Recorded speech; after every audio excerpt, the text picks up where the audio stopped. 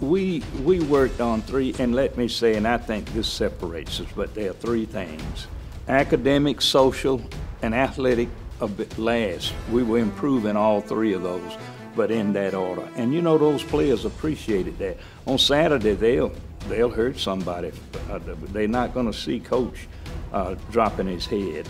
I think that, I think it was more nurturing because we felt we had to do it. It was more one-on-one uh, after practice, before practice, and it was just a close-knit family. And we always said that the family is the nucleus of our society. So we always said that success has no zip code.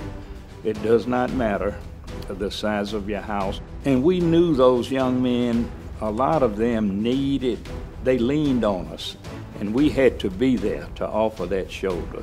And I think that was the, the major difference uh, in, in HBCU football and, and let's see, uh, let's say major college or the other smaller colleges.